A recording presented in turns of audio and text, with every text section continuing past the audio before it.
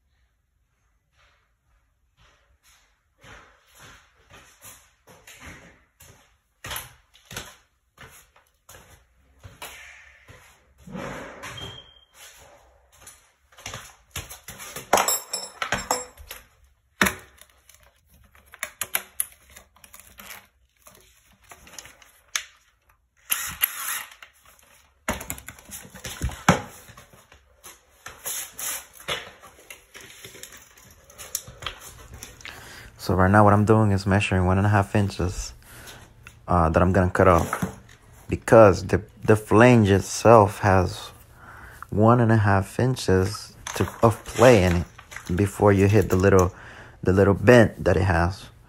Um, uh, as long as you don't do more than two inches is fine. And if you do more than that, you're gonna have a difficult time trying to glue down the pipe to the flange. And You'll see in a second how much I'm gonna take off. You see right there, the, the, the little play uh, has one and a half inches. Just as the top top part has one and a half inches of offset, you know, the bent.